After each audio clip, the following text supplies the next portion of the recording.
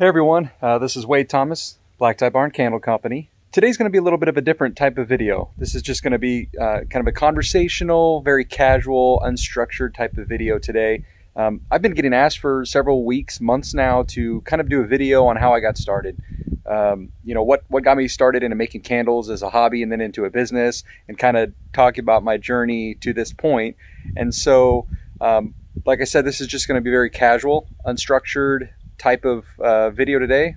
Hope to keep it kind of relaxed and conversational. Um, I've got some stuff to do outside today, anyways, around the property. So I'll be out doing some, you know, like I said, some some work around the property, some mowing. I need to feed the koi pond or feed the koi fish. I, I've got quite a bit to do, and I thought it's a awesome, glorious day outside today. So why not just uh, why not just tackle two things at the same time? So while I'm outside today, I'm just going to take a little bit of a break in hopes to kind of keep this from being too stagnant. Uh, just kind of walk around a little bit and talk about my journey and how I got started. And hopefully, you all enjoy this. So, thanks for tuning in.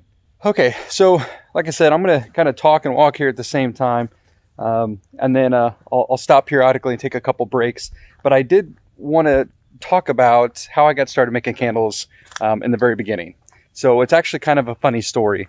Um, spin around here. I'm trying to avoid staring into the direct sunlight here. Um, so it's actually a really, really funny story.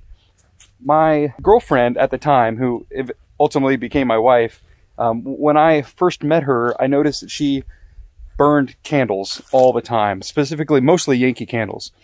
And not only did she burn them all the time, that also meant she was buying them all the time. And we all know that it gets rather expensive. And while it wasn't really my place in the relationship at the, at the time to comment on spending habits. Uh, that'll get you in trouble. But it was kind of an opportunity for me to say, as a joke, man, you sure like burning these candles and you spend a lot of money on them.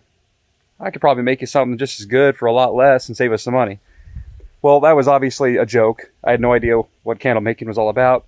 Never made a candle in my life. I wasn't even a candle fanatic at the time myself. I mean, I enjoyed them, but nothing to go out of my way or anything.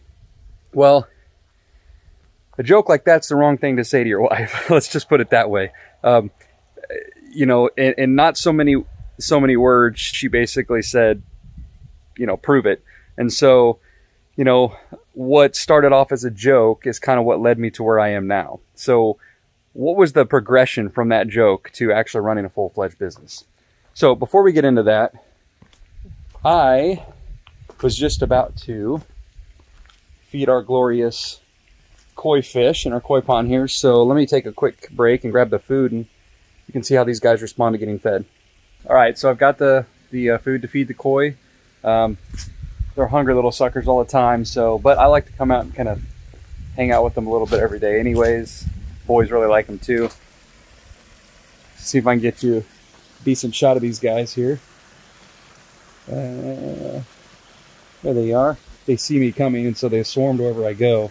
It's kind of funny. Actually, if I walk up here, they'll probably follow me. Let's see. If they notice, if they notice me up here, if they see me, they'll come over here. Let's see.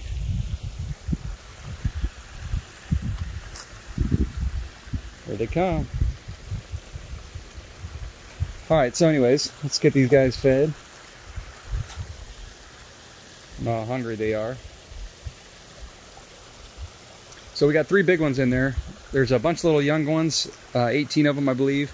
Uh, the biggest one right in the middle, uh, that is Frederick. Uh, he He's my favorite. Um, and then there's Steve, which is kind of the oldest child. You can't see him. Oh, there he is. Um, and then the other big one over there, um, kind of off doing her own thing. Uh, that's Karen. Yeah. So, anyways, that's done feeding the fish for now. Just had to get that out of the way. That's actually what I came back here to initially do before I decided uh, let's uh, let's do a video. So let me just sit down here, get this set up, and we'll do a more. Uh, we'll just do this sitting down, make it a little bit more comfortable, and I'll tell you all about my candle making journey. All right, so how exactly did a joke with my girlfriend at the time turn into a uh, full-fledged candle making business? Well, as I mentioned, you don't make a joke like that that you can do something um, to your wife unless you can at least attempt to follow through. So, I that's exactly what I did. I uh, I thought, all right, I'll show her. I show her I can do this. So I, uh, I ran to the local hobby store and I bought all the wax uh, and, and, I bought whatever wax they had on the shelf, whatever oils they had, which was not many, um, whatever random wicks they had, a couple random jars, um, and some dye. And uh, went home, uh, made my first couple candles. And before I go any further, I think all of you probably already know that that was going to end up in a complete disaster. We we all know that those materials from these local hobby stores just aren't going to cut it. Um, however, it was even worse than I thought. Now, granted, I didn't know what I was doing at the time. I was just kind of following the the, the instructions on the packaging of all these materials and how to do this. But let's just say it turned out as a complete train wreck.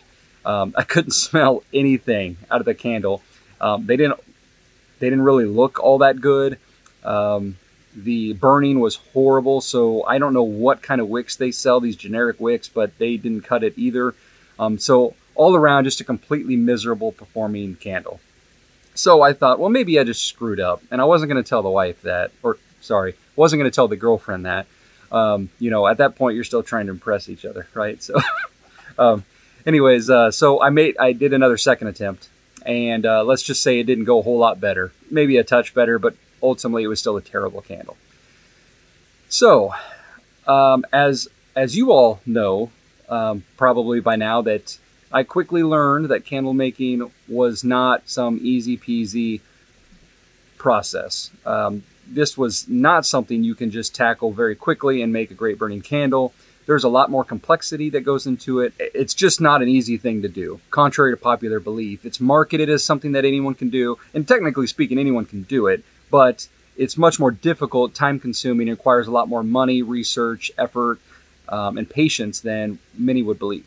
Um, and so I quickly figured that out.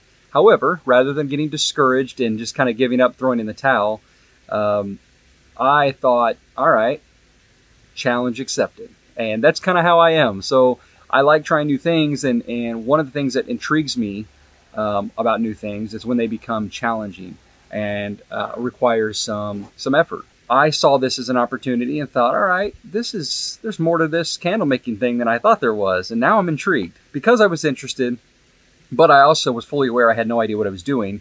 Um, I stopped making candles immediately and spent literally probably the next six to 12 months doing nothing but research and some experimental testing here and there too. Um, but it was mostly about research, learning, education. That's all it was. Kind of like what I'm trying to offer here through this channel um, to a lot of you starting out. I'm just trying to kind of short, not really shortcut, but kind of speed up that process for everyone. I had spent a so much time researching all the vendors and suppliers out there, learning everything about wicks and waxes that I could at the time, and I'm still learning today. We, we're always learning in this industry because the industry is always changing. Um, different waxes become popular. Oils are constantly changing. Wicking is always becoming evolutionary and, and changing its technology as well. And so I spent a lot of time researching and learning everything I could. And then I started doing a few sampling and trying to make things here and there, see how it went. For the most part, early on, it wasn't all that great, although you could see that uh, things were getting noticeably better and I was making some progress. Started documenting my results, um, finding manufacturers and suppliers that I could rely on, especially early on in my process. I started getting more comfortable and getting comfortable and confident and detail oriented is the key to success in this business. I am not one to rush things and I like to be diligent and very deliberate about things. So even early on, before I had a business and was really selling these at all, I was still acting like a business. So I was using software or spreadsheets, very detailed notes and processes to track everything so that I was helping myself learn as I go, but also setting me, myself up for success in the future long story short, let's cut to the chase. It was about a year later that I, I was really making some candles that I was happy with and I was feeling really comfortable with. Ones that now I would, could actually, you know, take to some, some friends and some family and say, hey, try these out. Let me know what you think. And it went well. Um, I mean, I ended up getting married to my girlfriend, so obviously I didn't screw them up too bad, right? so, um, but anyways, yeah, things kind of started taking off from there um, once friends and family started liking them, word of mouth started kind of helping out. And it didn't take long before the candles started to kind of blow up a little bit. Well, oh, that was a terrible choice of words there. it didn't take long for my candles to start getting some popularity. Um, And then because of that, it was time to really start working on branding and finding a niche. So you're probably wondering at this point how I came up with the name Black Tie Barn. Well, it was among many options that I had at the time. And no matter what other options I was mentioning to other people, um, getting their feedback on, the one that always got the most positive feedback and response was Black Tie Barn. And there were several reasons for that. I think people liked the way it kind of rolled off the tongue. It also kind of made sense for the industry. It really fit me pretty well. Um, I've always kind of worked in the corporate world, uh, business, so I know things about finance and accounting and business management, things and technology and things like that. But I also had this very handcrafty type of nature as well. And so combining both this kind of rustic and contemporary um, elegant kind of brand together is how you get black tie barn. So it's kind of that that merge of rustic and elegance. And so um, that's kind of where the name spawned from, and it just stuck really well. And every time I tried to change a few things or consider other options, everyone's like, no, stop, what are you doing? Leave it, it's good. And so it stuck, and it's been that way now for 10 years or whatever. So um, now I'm very happy with it, and I like it. I, I wouldn't change it for anything. It fits, it fits my brand and me very well. So that is where the name Black Tie Barn came from. Now, a few tips on how to get started and speed up this journey and this process. Tip number one is if you're not already subscribed, go ahead and subscribe to this channel. Give this video a like as well, and don't forget to hit the bell notification to alert you when I post new videos. That will help make sure you don't miss any of the new ones that I post, and there are many, many, many, many to come. Um, I actually got started on this process of posting videos on YouTube and helping others pretty late. Um, I've been helping others for years, but I wasn't doing it on the YouTube channel platform. Um, and I don't know why it took me so long to realize that that's just a more efficient way to help others. Uh, but here I am. So I just started a couple months ago, but I'm happy I did. And it seems like everyone is really enjoying the channel so far. So, yes, I encourage you to subscribe. That's tip number one. Um, there's going to be a lot of videos and help on this website, as well as another website I'm building um, that's kind of more of a blog or uh, informational type of training channel that's going to kind of link with this YouTube channel. Um, but more information to come on that later. Tip number two is to test, test, test until you almost hate testing. Um, you don't want to burn yourself out, but testing is the key to success. If you rush this product too much, you're risking uh, safety issues and performance issues. And it's going to be really hard to recover from that early on if you um, if you dive in head first and, and, and hit your head. So my advice is to take a methodical approach and um, and test and be smart and don't try to rush things too much. The industry is not going anywhere, so don't feel like you have to hurry and compete because there's so many others out there that are going to steal your business. The industry is so massive already, and there's so so much demand that you're going to settle in. You're going to find your niche. So don't feel like you got to rush um, just to try to catch the business before it's gone. It's just not going to happen. Um, tip number three is early on start off with reputable suppliers that you get comfortable with. There are tons of suppliers out there. Some are going to be local and driving distance to you if you're lucky, but most are going to be around the country that you'll have to do, um, you'll have to have shipment um, for your deliveries, and, and that's totally fine. Um, you'll calculate that into your cost of doing business, right? But the point is, is to find suppliers that you are happy with and get comfortable with, and don't try to use too many early on. It's going to increase your cost if you spread out your business uh, across multiple suppliers. It also complicates everything. So, my advice is to pick one or two suppliers early on and try to stick with them um, if you can. Not every supplier sells everything you need, so I understand that there's going to be times you have to kind of step out or or go somewhere locally to get maybe jars or whatever. But as far as fragrance wax and oils and wicks and that kind of stuff, it's it's good to try to find a supplier to stick with early on.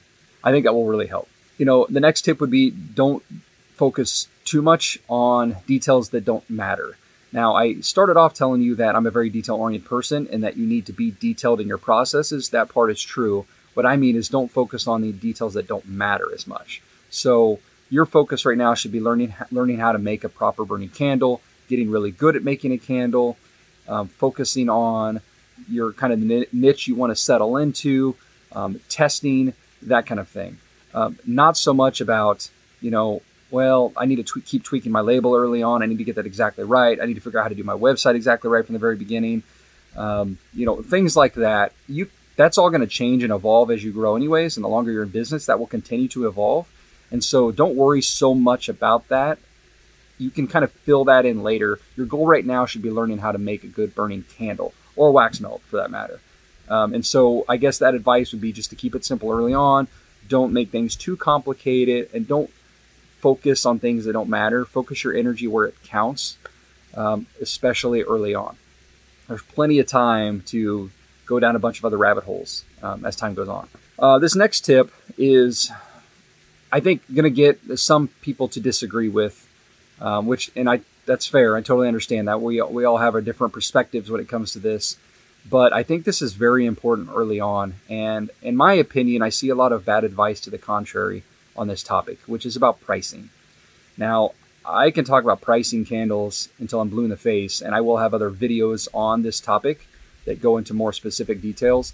But my general advice when it comes to pricing your candles is to price them for what you can sell them for.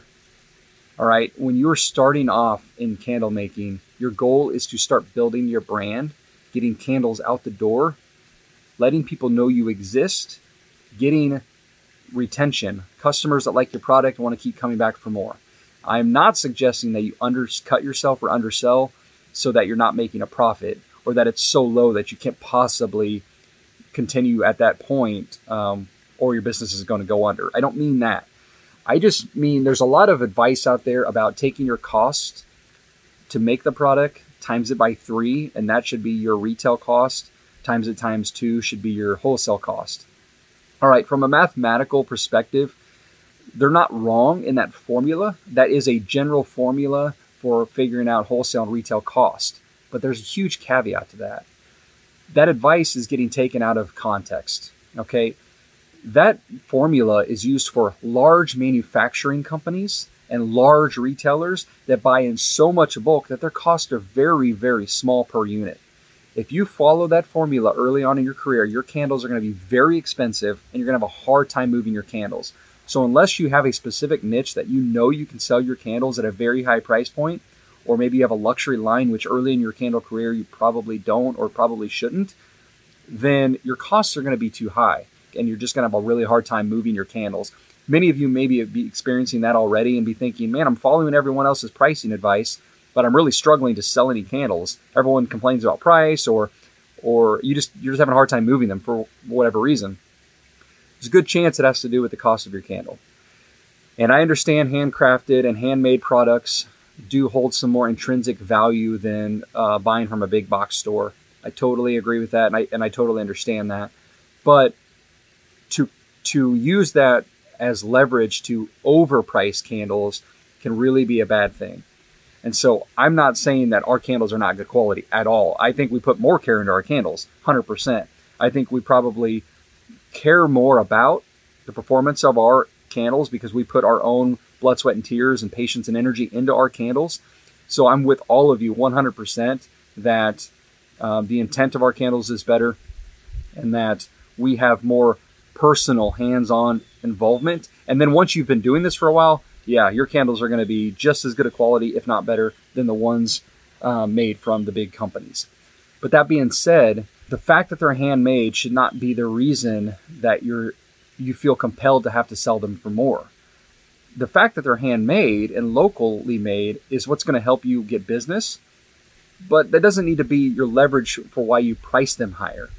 Your pricing should really be based off of your market and what you think you can sell your candles for, as well as make sure you're covering your cost and making a profit. And, and so you might be wondering, well, I want to sell my candles lower, but if I do, my my profit and my margin is going to be pretty thin early early on. And the reason for that, and you're totally right, the reason for that is because when you're small, you're not buying a lot of materials in bulk. You're not buying by the pallet loads. You're not buying the high volume that these bigger companies are. And so your cost of goods, your materials are going to cost you more money, which means the cost of making your candle is going to cost you more than it will down the road. So I totally, I totally understand and agree with you that right now, if you price your candles at X and they're costing you Y, that that is could be a small margin early on. But my advice I've always given to everyone is that you should mark you should price your candles for the future. So what do I mean by that? I want you to create a realistic picture of where you could see your business in a year from now, or a couple years from now, five years from now. Do you think, you know, try to estimate how much volume and bulk you'll be buying then? Because early on, yeah, you're buying samples and, and, and one off items. You're buying one fragrance oil bottle at a time. You're buying maybe one case of wax at a time. And yeah, your costs are going to be high. But down the road, you're going to be buying more bulk. Figure out what the cost of your candles will be once you're buying more bulk. All right. So fast forward yourself a year down the road and you're buying maybe six cases of wax at a time. Maybe you're buying three 16 ounce bottles or a jug of oil at a time. Maybe you're buying your wixes by packs of 100 or 1,000 by then rather than sample packs. Maybe you're buying jars, uh, several cases at once rather than one pack at once. All right. Base all your costs off of that and then see what your profit margin is going to look like. To expect to be making a profit early on in a business is not realistic and it's not how good businesses run. Businesses know that they're going to commit money up front and that they're really not going to start turning a profit for quite a while. And quite a while, it kind of depends on your size and your industry. Quite a while could mean uh, six months, quite a while could be a year, or it could be a couple years. The point is, is uh, just understand that it takes money to make money in business. And early on, yeah, your profit's not going to be high. It's it's part of growing. It's part of developing your business.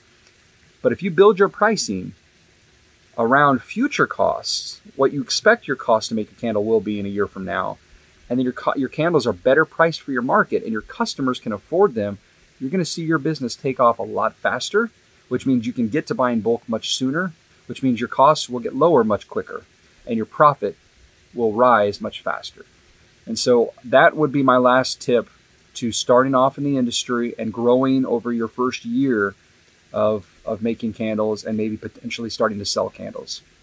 So I hope uh, hope you enjoyed this conversational approach um, to this video. Uh, like I said, it was just a really nice day. I had to go out and do some work anyways, and I thought, shoot, let's just let's just grab the equipment right now. Let's just walk around and do a do a nice outdoor video, um, and just kind of tell you a little bit about my story and, and how I got here and what what got me in the industry. So I hope you enjoyed this. Again, please uh, subscribe below and uh, tune in for other future videos. I will link in the description a few other videos that I think can help some beginner candle makers. Um, but more importantly, I have a lot more to come. So thank you very much, and you all have a great day. Thanks for tuning in. Bye.